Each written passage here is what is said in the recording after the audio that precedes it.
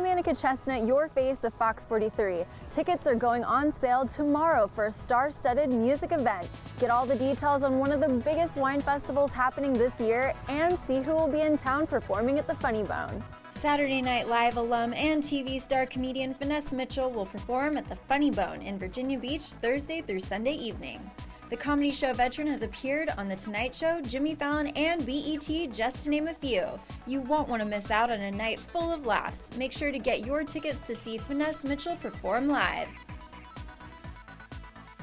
Cage the Elephant, Silversun Pickups, Bear Hands, and more are headed to the Ted Constant Center this March.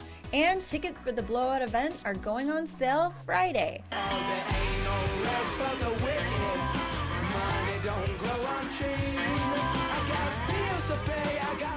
won't want to miss the 96X Spring Fling 2016, so get your tickets to the Star Packed event before they sell out.